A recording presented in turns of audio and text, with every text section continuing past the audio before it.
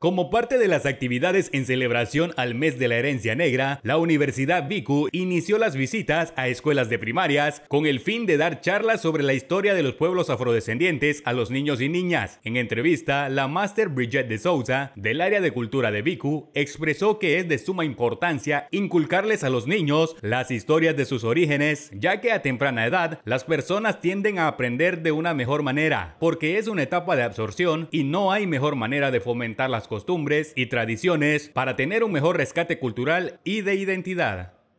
Comenzamos lo que es este, la semana de la, emancipación del pueblo afrodescendiente y pues se ha creado como un programa de atención más que todo pues a, los jóvenes y a los niños em, de la etnia negro creol y estamos visitando algunos colegios.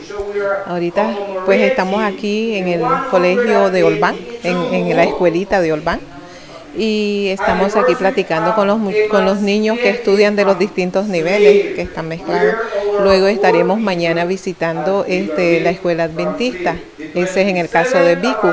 Huracán también ahorita anda en, en, no sé si es el Horacio, o, pero hay dos colegios que ellos van a visitar. Eso es en primaria. Luego en la otra semana estaremos visitando este, la secundaria, nos vamos a encontrar en el museo. ¿Qué temas se están tocando en esta visita? sobre la emancipación de, la etnia afro, ¿verdad? Porque el 10, sí, el 10 de, agosto es que se determinó que se celebra lo que es em, el Día Internacional de, ¿verdad? de los pueblos afro y pues las universidades nos hemos unido porque queremos contribuir, queremos apoyar un poco, que, la, que los estudiantes de secundaria, de primaria también conozcan sobre sus raíces, origen, porque los acontecimientos que se dieron, pero también no solo dejarlo allá, porque ya para este nivel no es tanto hablar sobre este, lo que no solo los acontecimientos, no solo ver la parte negativa, sino que quiénes somos como pueblo, este, algunos logros, algunas cosas buenas que se han hecho, de lo que se puede hacer, es una manera también de, reforzar nuestra identidad como, como negros, costeños. En el caso del profesor Zambola, pues él habla de la parte garífona, y pues yo hablo de la parte creol.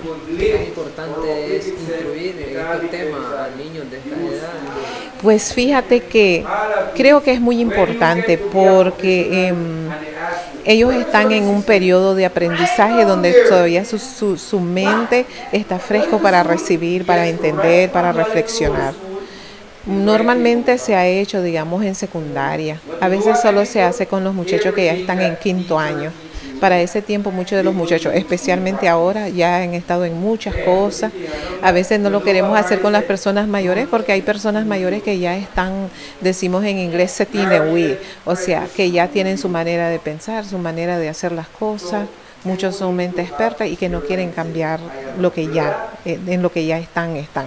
Entonces, si queremos una sociedad nueva, si queremos una sociedad mejor, tenemos que alcanzar a los niños jóvenes, desde la edad de, primaria también y reforzarlo también ya cuando están casi por entrar a ese nivel profesional. La universidad es como es como ya prácticamente la puerta de salida. Ya después de la universidad sale esa persona para enfrentar el mundo, ya una persona completamente este, formada. Entonces, muchas veces es difícil desde las universidades poder hacer algunas cosas porque ya no se trabajaron algunas cosas en primaria ni en secundaria.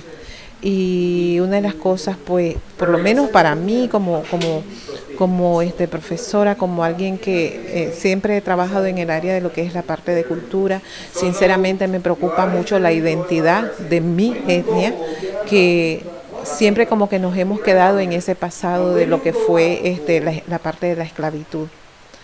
Tenemos que hablar de ella porque ellos tienen que entender quiénes fueron nuestros ancestros, no solo la parte negativa, sino también la parte positiva, qué cosas, qué enseñanza, qué lecciones ellos no, nos heredaron. No solo nos heredaron, nos heredaron la parte negativa, también hay cosas muy positivas que es lo que necesitamos transmitirle a, a, nuestra juventud y a la sociedad próxima que, que, porque, por ejemplo, yo ya en mi edad, yo ya voy, yo ya hay otra generación y esa generación tiene que seguir preparando el camino para las otras que vienen.